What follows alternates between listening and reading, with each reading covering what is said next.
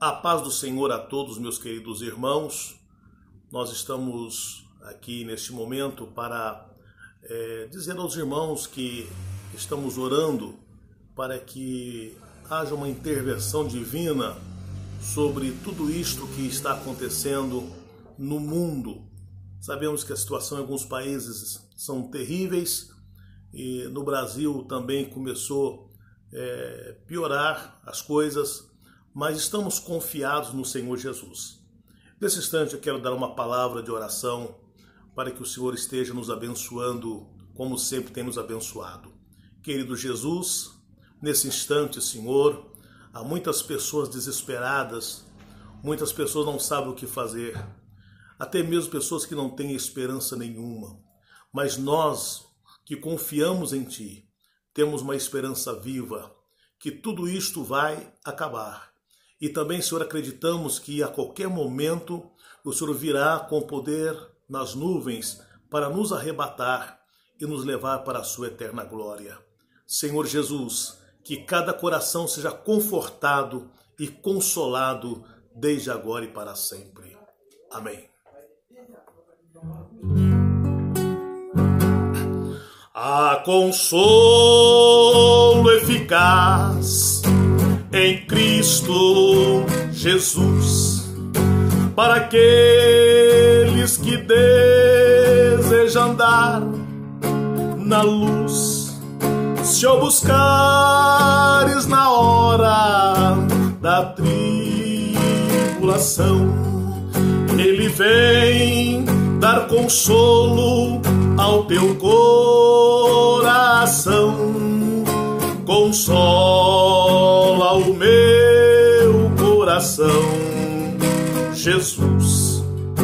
Consola o meu coração, Jesus. Consola o meu coração, Jesus.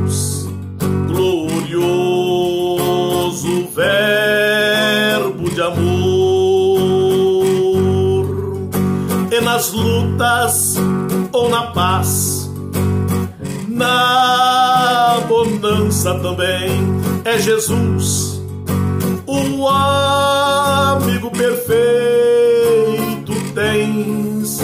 Ele nunca despreza quem a ele vier, ansioso e contrito, alheio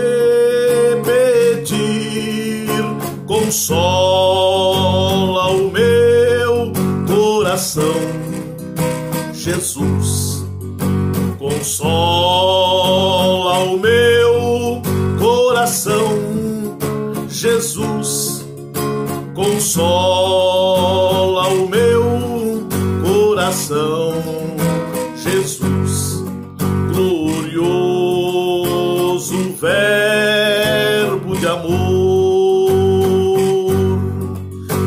nas lutas ou na paz.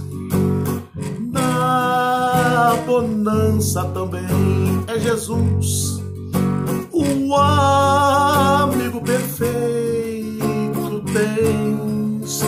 Ele nunca despreza quem a ele vier, ansioso e contrito, alheio consola o meu coração, Jesus. Consola o meu coração, Senhor Jesus. Consola o meu coração, Jesus.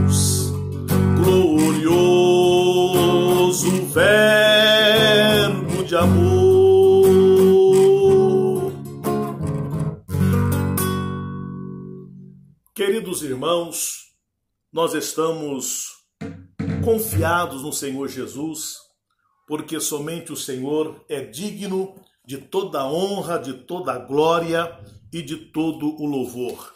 Há uma palavra na parte da parte de Deus Paulo escreve aos irmãos de Colossos, no capítulo 3 da carta de Colossenses, e no versículo 14. E Paulo diz assim: E sobre tudo isto, revestivos de amor, que é o vínculo da perfeição. Revestir, vestir de novo. Paulo recomenda aos irmãos que nós devemos revestir do amor, que é o vínculo da perfeição. A paz de Deus, para a qual também fostes chamados em um corpo, domine em vossos corações e sede agradecidos.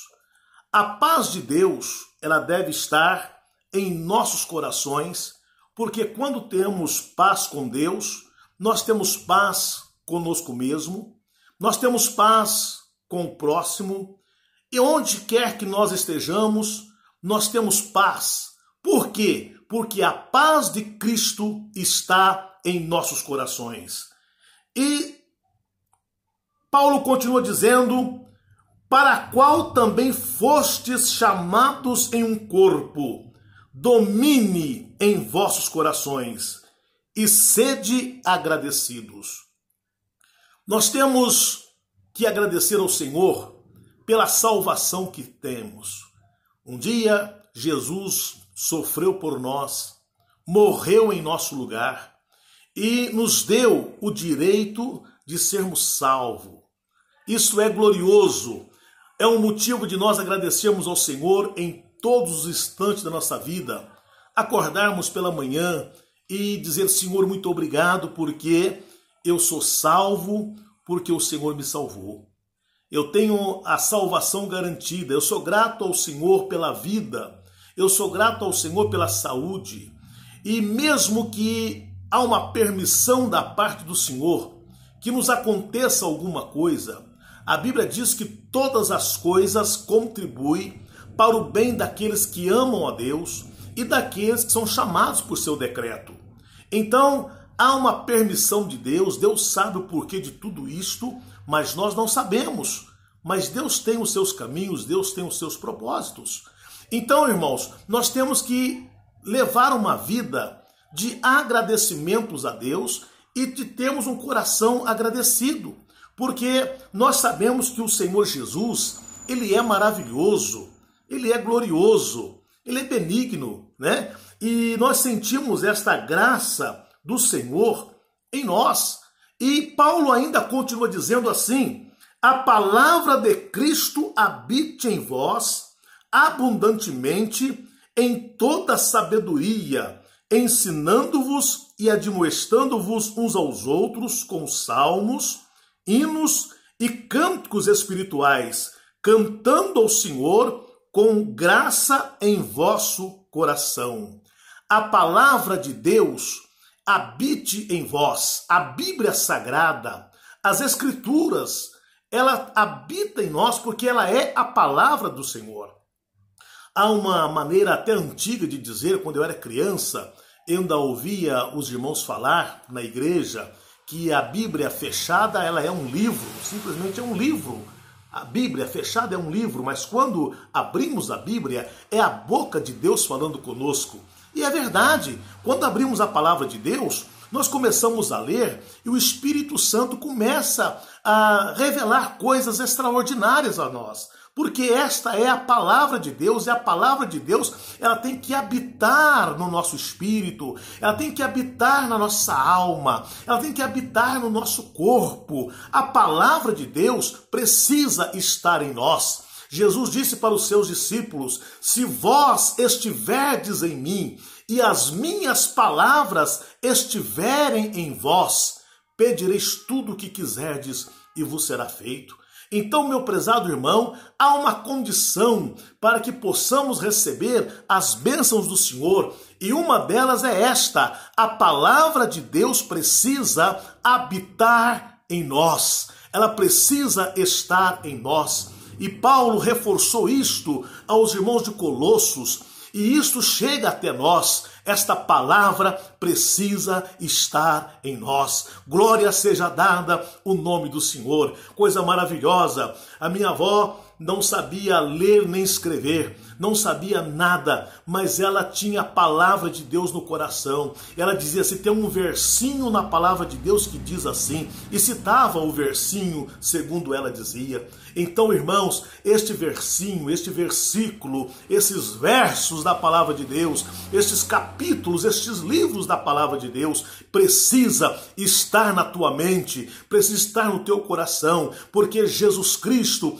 está às portas. Jesus Cristo está voltando e esta palavra precisa verdadeiramente estar no nosso coração. Nós temos que dormir com esta palavra, nós temos que levantar com esta palavra, nós temos que viver com esta palavra, porque ela precisa habitar em nossos corações. É isto que Paulo está dizendo. E depois, no versículo seguinte, ele diz assim: E quando fizerdes por palavras ou por obras, fazei tudo em nome do Senhor Jesus, dando por ele graça a Deus Pai. Tudo que você fizer, você usa o nome de Jesus, esse nome que é maravilhoso, este nome que é sobre todos os nomes, o nome do Senhor Jesus Cristo. Meu prezado irmão, que o Espírito Santo possa realmente te revestir, que o Espírito Santo possa realmente dar força para você caminhar em todos os momentos de sua vida. É um momento de nós orarmos ao Senhor, é um momento de nós meditar na palavra, mais do que nunca. Nós não podemos ir à igreja agora. Quantas pessoas tiveram oportunidades de ir à igreja e não foram? Quantas pessoas tiveram oportunidade de estar cantando junto com os irmãos e não estiveram lá cantando? Quantas pessoas poderiam estar ali dando glórias ao Senhor e não puderam ir, ou às vezes não quiseram ir? Mas, meu prezado, agora é o momento de nós unirmos em oração. Há momento agora de nós unirmos mais e mais com esta força que o Senhor nos dá e buscar a Deus, que Senhor tenha misericórdia do nosso país, do mundo inteiro, da nossa igreja, da nossa família, dos nossos familiares. É o momento agora de nós estarmos lendo a palavra e dizer: Senhor, eu quero orar ao Senhor agora. Meu prezado irmão, meu prezado irmão, entra no seu quarto, fecha a porta e começa a falar com o Senhor, clama, clama. Jeremias 33 e 3, o texto áureo de muito crente, né? Clama a mim e responder-te-ei e anunciar-te-ei coisas grandes e firmes que você ainda não sabe. Há coisas maravilhosas da parte do Senhor que Ele quer revelar para você, que você desconhece, que você não sabe, mas há coisas que o Senhor quer te revelar. Clama Ele, porque Ele diz que Ele, a Bíblia diz que Deus revela os seus segredos aos seus servos.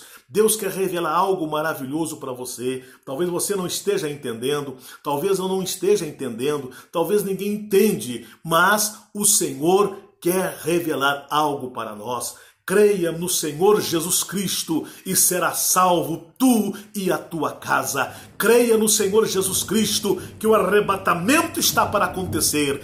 Creia no Senhor Jesus Cristo, porque nós podemos dizer: Maranata, ora vem, Senhor Jesus. Que Deus abençoe. Até lá, em nome de Jesus.